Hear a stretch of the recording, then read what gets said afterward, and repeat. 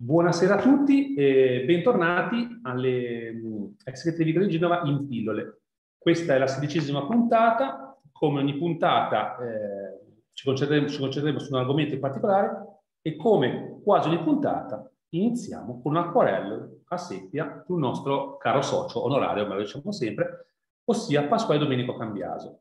L'acquarello che vedete davanti ai vostri occhi ha il titolo Avancorpo del Palazzo Ducale e la Torre. Quello che riconoscete molto bene sicuramente è la Torre Grimaldina, ossia questa torre che tutti noi conosciamo.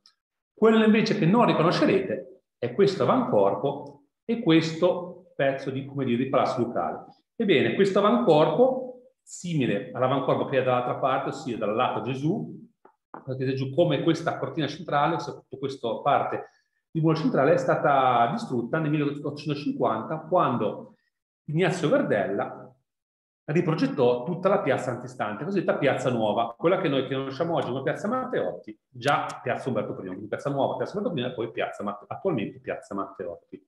Vi mostro un, tanto vedete qua, un parete che esce dal Cescovado, quella invece è sempre uguale, questa zona qua. Vi mostro un'immagine per farvi capire un po' meglio com'era la piazza nuova con la cortina.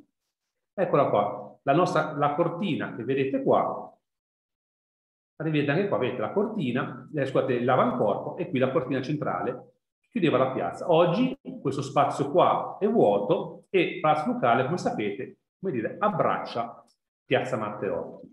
Dicevo che il progetto è stato di Ignazio Gardella, senior, per distinguere Ignazio Gardella novecentesco, è stato colui invece che farà per l'architettura, e Ignazio Gardella, eh, diciamo così, ottocentesco, sarà poi colui che, per farvi un esempio facile, ha progettato anche le terrazze di marmo, che tutti voi conoscerete. Insomma, colui che ha messo mano molto alla Genova della seconda metà dell'Ottocento. Vi dicevo appunto della, parlavo della, della, Torre Grimaldina. La Torre Grimaldina, insieme ai sotterranei, ospitava i carceri, i carceri del Ducale. Eh, se vi capita di andare in via Tommaso Reggio, per esempio, potete leggere una lapide, eccola qua, per esempio, in cui si racconta che consacrò queste, queste carceri il sangue di Jacopo Ruffini. Jacopo Ruffini è uno dei più famosi, tra virgolette, eh, carcerati nella torre del, del, Palazzo Ducale. Lui trovò anche lì la morte, molti altri, Domenico Fiasella, Niccolo Paganini, Simbaldo Scorza, per fare alcuni esempi, invece furono qui imprigionati il, drago, il pirata Dragut, per essere un esempio famoso, o anche il Vacchero, sceleratissimo genovese, che come sapete ehm, tentò una giura contro la Repubblica, ebbene furono imprigionati nella Torre Grimaldina. Vedete qua, Torre Grimaldina che come saprete è una costruzione inizio trecentesca, poi nel XVI secolo viene aggiunto questo piano, appunto per via una bellissima campana, e poi appunto la piazza sommitale. Se non l'avete mai vista, il piano della campana, ecco qua, e questa è la vista che si ha da lassù. Fate conto di vedere dall'altra parte, come immaginate, tutta Genova dall'alto. Purtroppo non è aperto al pubblico per fortuna invece eh, un, ho avuto la possibilità di, di andarci e vi dico, vi dico da, da, in cima è veramente sensazione bellissima di vedere tutta Genova dall'alto. Dicevo il carcere. Il carcere, ehm, ma eh, come, si, come si mangiava in questi luoghi? O meglio, cosa mangiavano coloro che qui lavoravano? Si tratta um, uno dei piatti più famosi della Genova antica, ossia la sbira. La sbira una, una, una, zuppa consumata dai doganieri e, dai, e da um, coloro che, le guardie genovesi appunto, che lavoravano così, nelle carceri, quindi o nella torre o nel, spesso nei sotterranei. Spesso la sbira era anche il mangiare dei condannati a morte, o, o, me, o meglio, l'ultima cena. Quindi se per mangiare un po' meglio, ecco, i carcerati come ultima cena, prima delle esecuzioni, chiedevano la sbira. Sbira o minestra alla sbira è una delle più antiche preparazioni genovesi della trippa, si tratta di una zuppa, appunto a base di trippa, che veniva servita caldissima ed era molto utile per, eh, ideale, diciamo, per intemperare il corpo dopo una lunga giornata al freddo. Era, per questo era un piatto eh, molto diffuso nella popolazione e nei lavoratori che lavoravano all'aperto, per esempio il scaricatore di porto. Il scaricatore di porto, ossia i camalli, se vogliamo chiamarli con un termine arabo, frutto di quel melting pot di cui vi parlo sempre, di questa mescolanza di culture e di parole del Mediterraneo, oppure il Caravana, viene a chiamarli invece col loro nome della compagnia. La compagnia delle caravane, come sapete, è stata la compagnia unica, tra virgolette, fino al 1800, cioè coloro che potevano scaricare il scaricatore di porto erano tutti appartenenti a questa compagnia. Compagnia di caravane detta così perché eh, erano tutti di una zona, in particolare zona di Bergamo o dintorni, e solo coloro che erano nati in quella zona potevano esercitare questa professione. Si racconta, è vero, che eh, le, le, mogli di, di Caramana correvano eh, nei, nei, a Bergamo e dintorni, nelle valli, le Val Brembana, per esempio, quelle valli intorno a Bergamo, per partorire, perché solo coloro che erano nati in quelle valli lì potevano lavorare in porto e quindi anche i bimbi nascevano laggiù e tornavano a Genova, come dire, potevano poi entrare nella compagnia di Caravana. Vi dicevo appunto mh, della eh, Svira. Svira, perché questo nome? Beh, come immaginerete, eh, adesso ci arriveremo. Eh, facciamo un passo in via Giulia. Via Giulia, come sapete, è quella via, per farvela basta facile, che collegava eh, la Porta Santo Stefano a Piazza, Domenico, per eh, attualizzarla, diciamo, da, tra Ponte Monumentale e l'attuale Piazza del Ferrari. In questa via, salendo sulla destra, lato, diciamo così, Pica Pietra, lato di l'attuale di Vernazzi, diciamo dove oggi sorge più o meno l'Accademia di Gusti, c'era un oratorio, un oratorio dedicato a Sant'Antonio e Paolo. Un, oratorio, un piccolo oratorio in un vicolo detto di San Francesco, ma ci arriveremo, o della Pulci, ci arriviamo tra poco.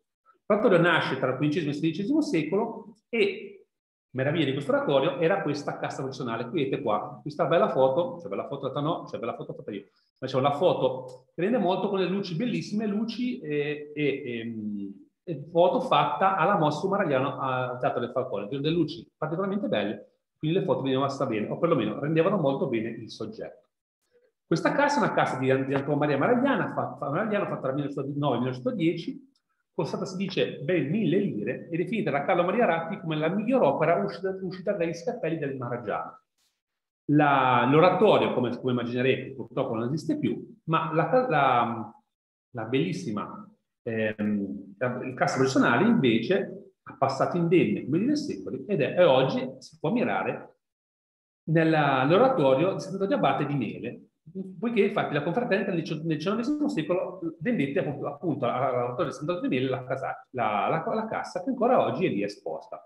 Nel mentre invece la confraternita non si è estinta, eh, dopo, dopo, la distruzione dell'oratorio prima prese sede momentaneamente in Santa Marta e poi in Santa Maria Invialata, dove tuttora ha sede. Per chi voi si ricorda, qualche anno fa abbiamo fatto come agita con Giano, allora proprio alla Santa Maria Invialata, e nel bellissimo laboratorio del, del, del nostro socio onorario Nino Silvestri, ebbene, quella lì è la sede della, della confraternita. Ogni anno, se volete visitare questa chiesa, il 17 gennaio, appunto la festa di San Antonio Abate, vi si celebra messa, quindi anche un, una, un giorno per riuscire a poterla visitare al pubblico.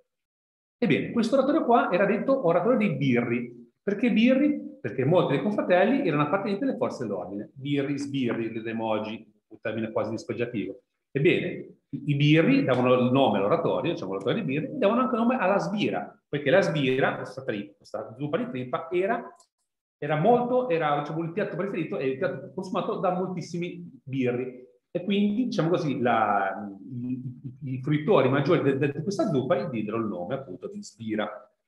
Vi dicevo prima perché non ha solo gli oratori, eh, che eh, l'oratorio di Sant'Antonio sorgeva in una salita che portava a, a Picca Pietra, salita detta di San Francesco o della Pulce.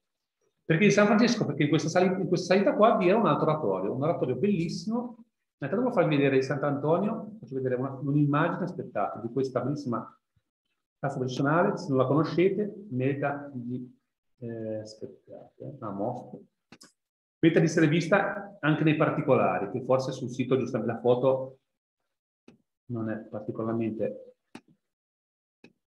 Faccio vedere qualche esempio. Vedete, vedete qua il, il vestito di, di, San Paolo Eremita. Guardate che bello, come, come visto come intrecciato splendidamente. Come anche bellissimi sono gli angioletti che vengono sopra e anche tanti particolari. Faccio vedere solamente qua, per esempio, guardate San Paolo Eremita che dorme, guardate l'angioletto che scende, questa tipica faccia maraglianesca, ma anche bellissimo anche particolari. Per esempio, vabbè, il maiale, tipico di Eccolo, guardate che bello questo piccola lucertola, questo corre lungo la cassa personale, anche tanti piccoli particolari rendono la cassa personale magnifica. Tra l'altro ora con restauro proprio di Vino Silvestre, quindi del nostro socio Vino Silvestre, è ancora più bella. Se vi potete andare a mele non potete perderla. Qui sono particolari, vedete, col fuoco, il teschio, il rosario, ed eccola qua. Vi dicevo, di, vi dicevo che accanto a questo oratorio vi è un altro oratorio, l'oratorio è quello di San Francesco. L'oratorio di San Francesco, appunto, in questa salita detta da Pulcio di San Francesco, una salita che da Via Giulia portava al piano di Pietra. Anche questa confraternita, questo oratorio purtroppo è andato distrutto, ma non tutto. Se vi capita di andare alla chiesa della, Santa Concezione o Padre Santo, infatti vi è ancora la cassa professionale, anch'essa opera di, di Antonio Maria Maragliano, eccola qui, cassa in cui ehm, rappresentato San Francesco d'Assisi in atto di riceva le stimmate. La cassa professionale oggi è, come vedete dalla foto, montata su un altare in realtà, essendo montata sull'altare, ha perso un po' la... cioè sono stati modificati alcuni suoi elementi. Poi la cassa, infatti, era concepita per essere vista, come dire, allo stesso livello, allo stesso piano, ed era anche sviluppata più in lunghezza. Le figure erano, erano, erano disposte diversamente. Essendo messe su un altare, lo spazio è ridotto e le figure sono viste dall'alto, quindi a questo momento la, le figure sono inclinate verso il basso, in questo modo il fedele vede meglio le figure, e sono più ravvicinate tra loro. Questa foto, vedete sul sito, è una foto pre-restauro. Mh, la, la cassa recentemente restaurata, vi faccio vedere due, ad esempio questo angioletto qua, vedete? Col vestito di un semplice azzurro. Ebbene, restaurandolo, subito vedere, in realtà venuti fuori i veri colori. Per quello lo faccio vedere perché è particolarmente bello. Ho avuto la fortuna di poter seguire anche grazie alla benevolenza dei restauratori il restauro. Faccio vedere, per esempio, quello del concetto di cui facevo vedere prima l'immagine. Guardate cosa è venuto fuori. È venuto fuori quello, quel semplice azzurro, in realtà è un vestito molto più complicato, con questi bellissimi fiori e questo, questi colori così tenui. Inoltre, eh, se, vi, se, vi capita, se vi capita di andare a Roma alla mostra sul, su, sul barocco genovese, avreste potuto vedere il bozzetto, eccolo qua, in terracotta, questo è il bozzetto del, della nostra cassa personale di San Francesco. Eccolo qua. Se guardate l'immagine, vedete molto simile, anche se qui le figure sono molto più vicine tra loro, quindi si perde un po' tutta la scena. Qui forse si vede un pochino meglio. Tra l'altro, bozzetto che era nato in vendita in una casa d'asta l'anno scorso era rimasto invenduto, è rimasto qui nel legittimo proprietario, tra l'altro che abita nei vicoli, che mangia la focaccia, quindi la focaccia la prendo io, quindi una persona che conosco, ed eccolo qua, questo è il bozzetto che potevate vedere, vi dicevo, proprio alla, alla mostra su Roma del Barocco e che ora invece è tornata a collezione privata, comunque diciamo ogni tanto viene anche esposto, quindi anche bello da vedere, farvelo capire. I bozzetti venivano realizzati, come in questo caso qua, in terracotta oppure spesso anche in, in cera, quindi comunque materiale modellare facilmente. Torniamo al nostro, al nostro mangiare, l'argomento di questa sera. Vi dicevo, eh, vi raccontavo appunto della sbira dove avreste potuto mangiare la sbira. Beh, eh, come immaginerete, appunto, nelle tripperie. Tripperie, una volta venivano tantissime tripperie nei vicoli, quindi quell'odore che oggi sentite, per esempio, in Vico Casano, dove vi è ancora una bellissima tripperia, soprattutto se passate pomeriggio, quell'odore di, di pentole che ribollono, appunto, è un odore che è molto tipico in realtà per i nostri nonni Oggi purtroppo questo profumo di trippa lo potete giusto assaporare in, in zone come dico Casana, ma non più in tanti luoghi, come lo dicevano una volta. Le tripperie erano molto diffuse.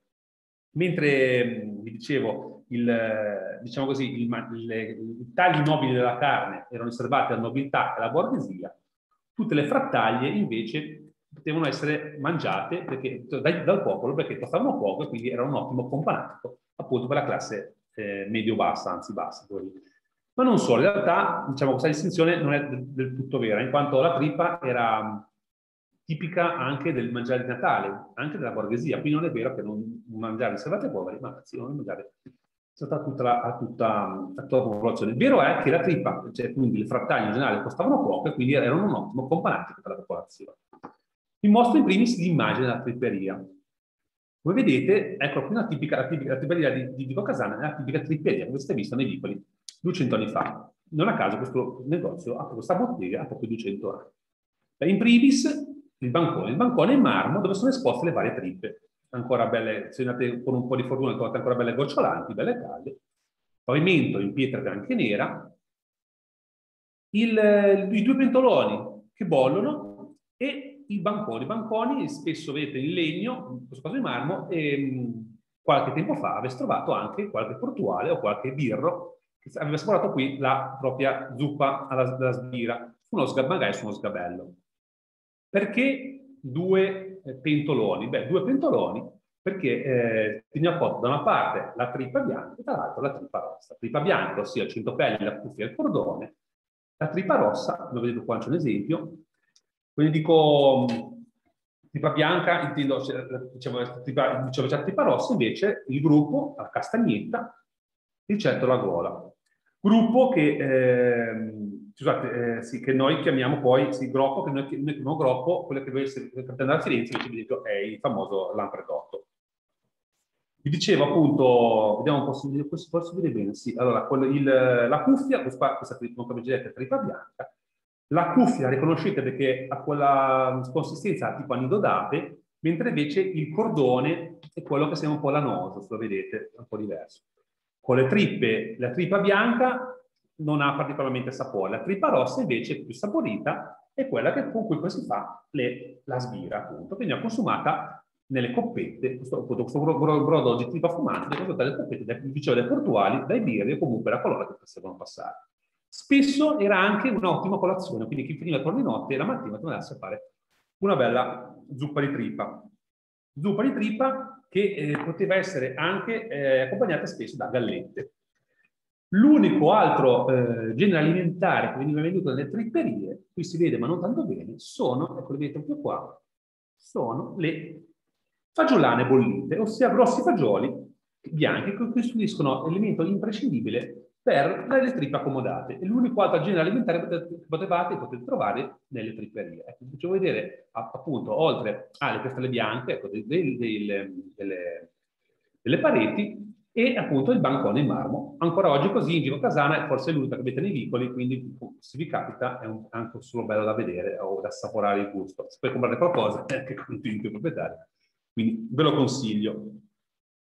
Ma la trippa non è l'unico, eh, diciamo così, mangiare tipico che potete trovare nei vicoli, potete per fortuna trovare ancora.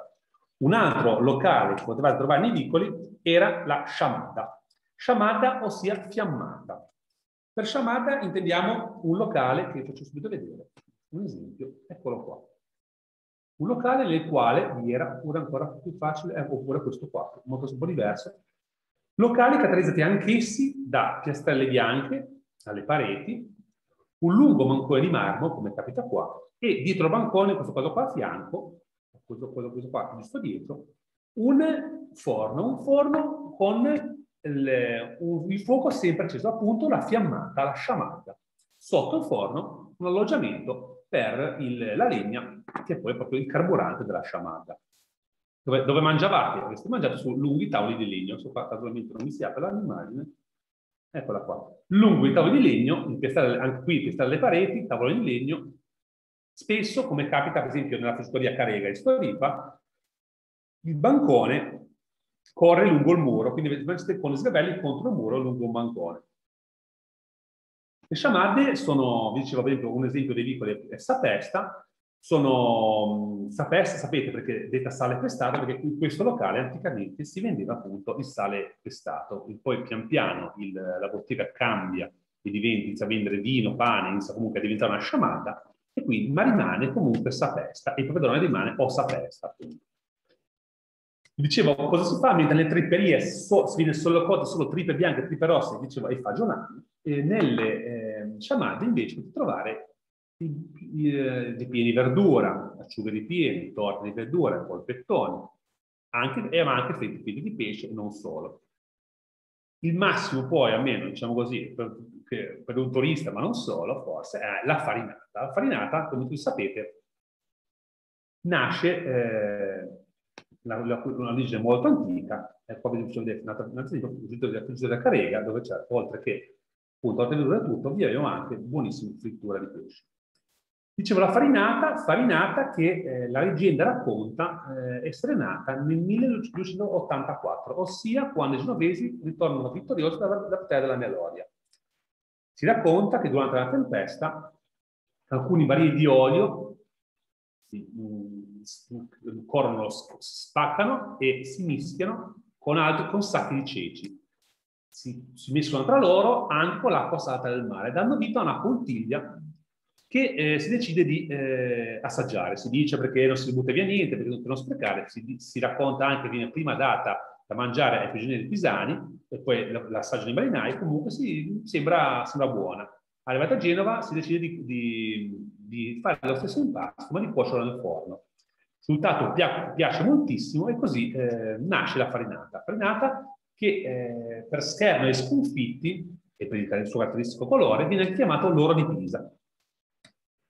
E, ehm, appunto questo, è, questo appunto è forse il piatto, il piatto più tipico che potete assaggiare nelle, nelle, nelle nostre eh, sciamate. Vi dicevo appunto delle botteghe storiche, eh, sciamade da una parte, quindi vedo sapesta, farvi vedere un esempio, eccolo qua, dove vedete appunto piastrelle ai, ai lati e poi fuoco, è sempre acceso, questa cosa farinata, eh, se vi capita di passare, qui siamo, qui siamo all'angolo tra, tra, tra via Giustiniani e Vico Sauli, appunto la vetrina dove sono esposte invece tantissime torte di verdura, ma non solo.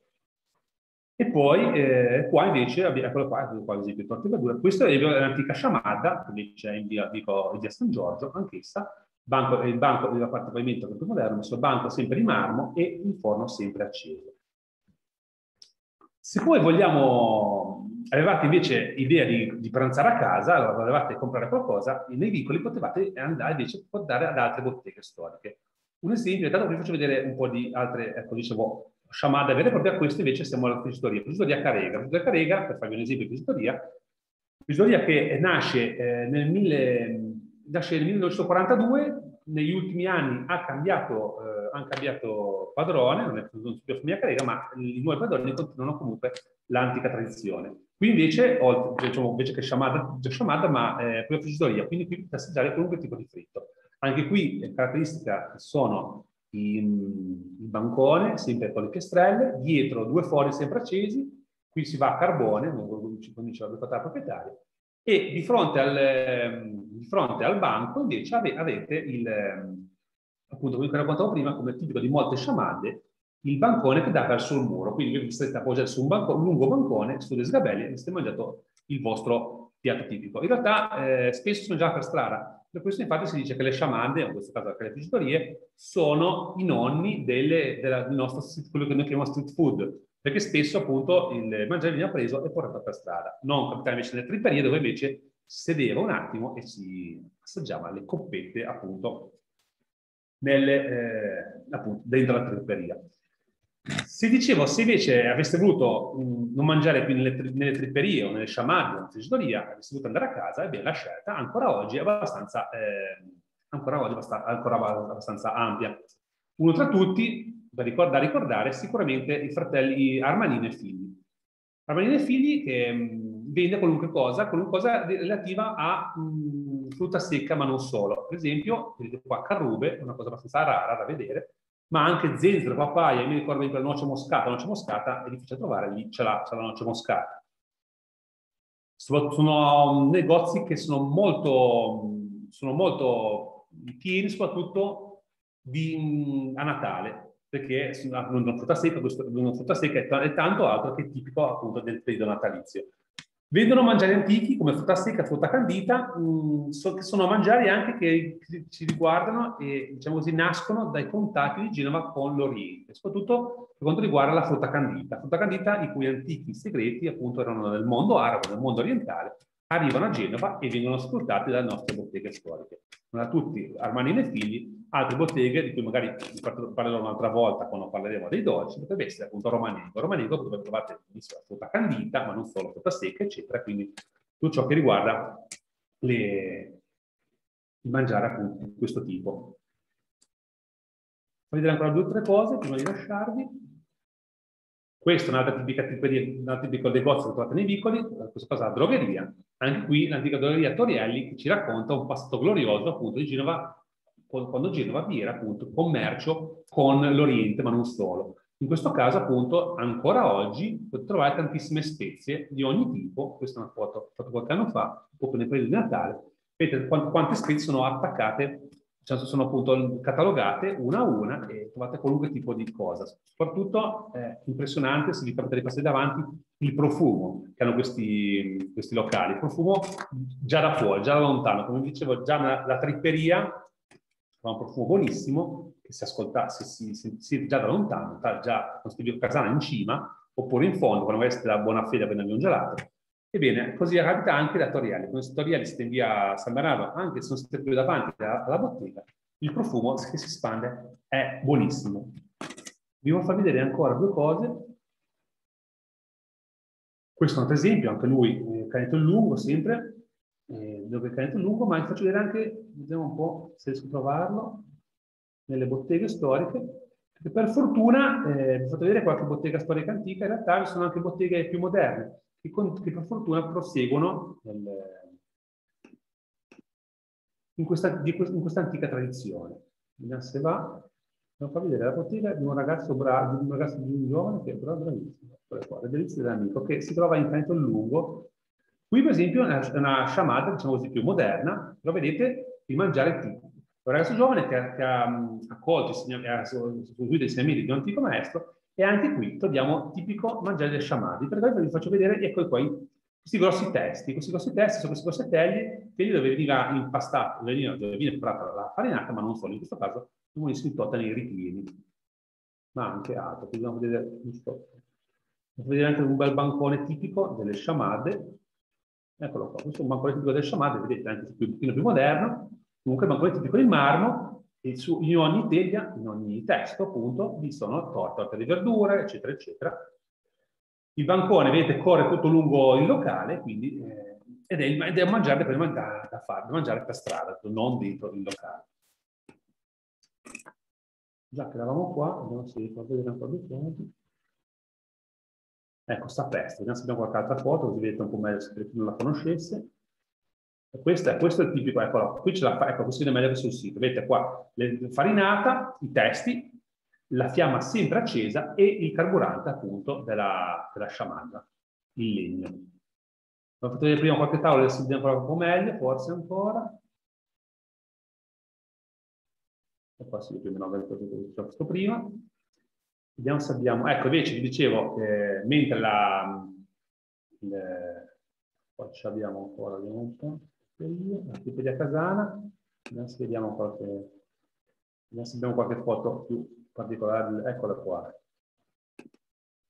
Eccole qui le tripe bianche di cui vi parlavo prima. Vedete, questo, cioè, questa lanosa appunto è il cordone, quello qua vedete molto lanoso, mentre invece avessimo un po' di nido d'ape, eccolo questo più nido d'ape, cioè, queste sono tutte tripe bianche. E qua abbiamo appunto, eccola qua, la fagiolana, appunto, il, fagiolo, questi grossi fagioli che venivano, che sono, come sapete, utili per la tripa accomodata se abbiamo guardato in mano, farvi vedere, se capite un po' meglio come funzionava.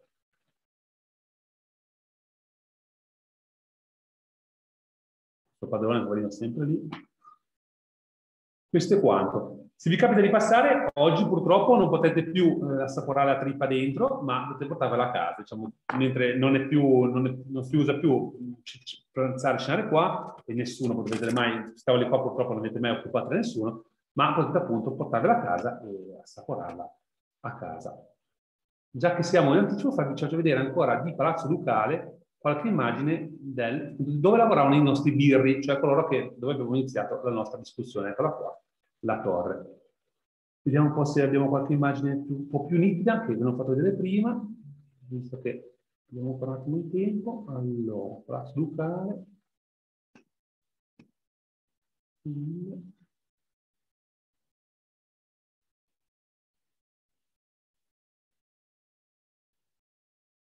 Eccoci qua. Allora, Torre Grimaldino, qui c'è qualche...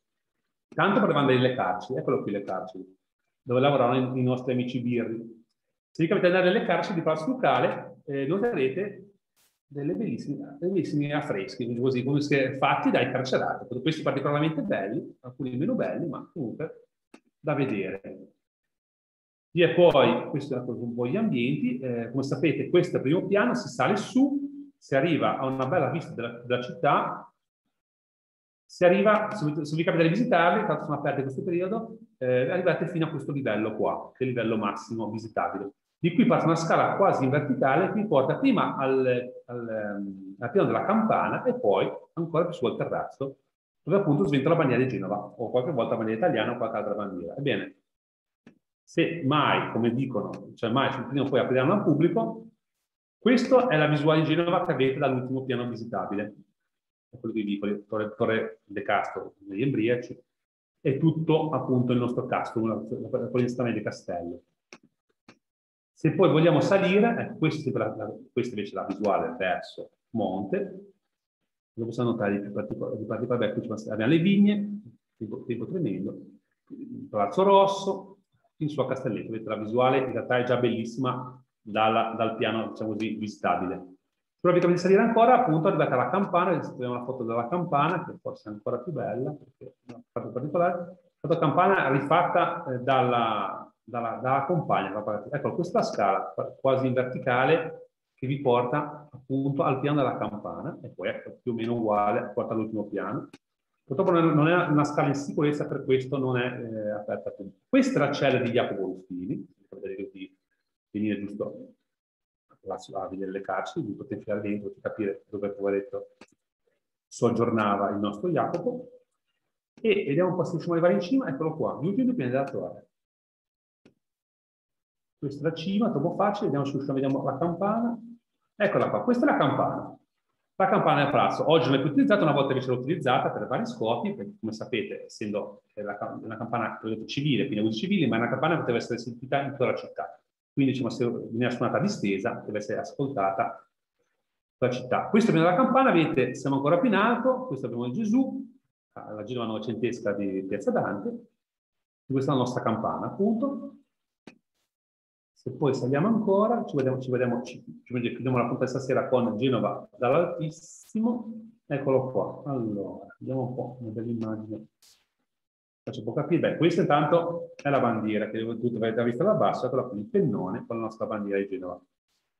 Guardate che bello che fosse aperto al pubblico sul terrazzo. Tra l'altro sembra abbastanza a norma nel suo, magari parapeto basso, avranno altre norme da capire.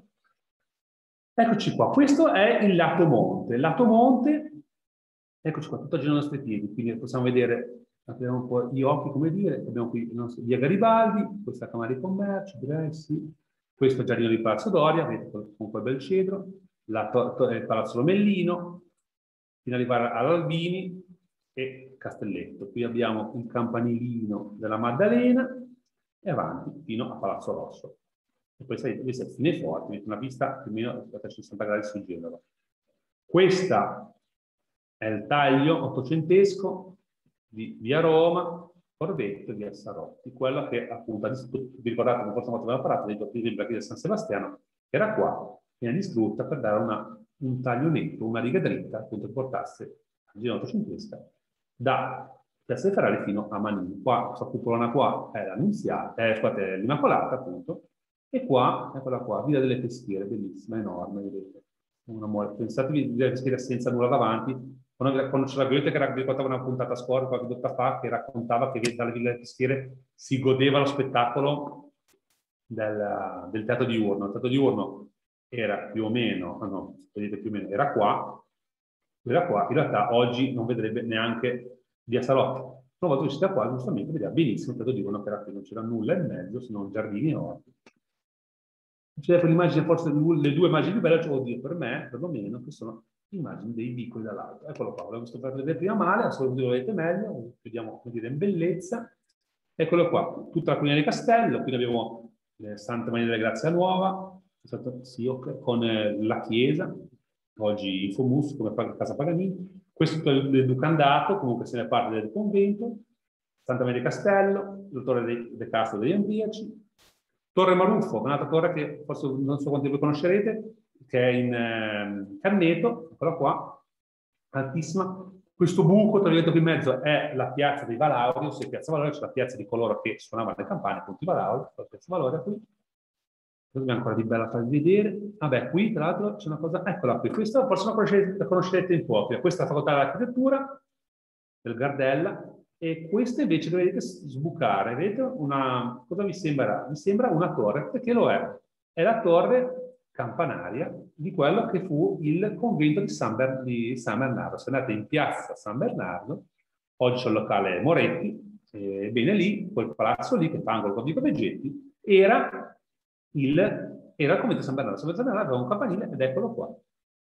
Oggi una, torre, una, una civile abitazione, si, si vede poco in realtà, se non dei punti altissimi dei vicoli, come per esempio appunto, il, cioè dovete sapere anche cosa guardare, però se, se vi capite dei punti molto alti, per esempio dalla collina di Castello, ma questo è un po' più tanto in alto, potete notare, in realtà è in mezzo è un po' fagocitato, quindi si vede poco, però svetta ancora.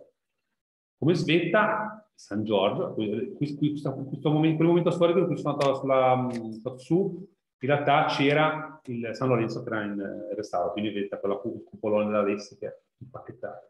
San, San Giorgio, eccolo qua, la cattedrale.